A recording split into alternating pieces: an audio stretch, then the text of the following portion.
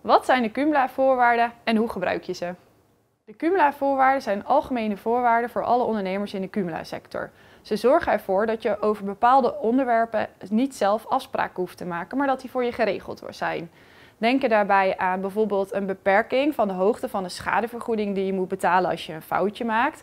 Maar ook bijvoorbeeld de verplichting voor een opdrachtgever om je te informeren over obstakels in of onder de grond. Best wel handig om op terug te kunnen vallen dus. De Cumula-voorwaarden zijn niet vanzelf van toepassing. Er gelden twee eisen. De eerste is dat je uh, ze van toepassing moet verklaren op bepaalde werkzaamheden of een bepaalde klus. Dat doe je door ze te vermelden in een offerte of op een overeenkomst. Eventueel kan het ook in een prijslijst.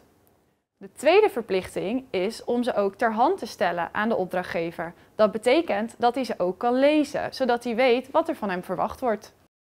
De Cumula-voorwaarden zijn dus eigenlijk de spelregels waaronder je je werk doet. Achteraf meesturen met de factuur is dus te laat. Dus zorg ervoor dat je ze 1. van toepassing verklaart en 2. meestuurt naar je opdrachtgever.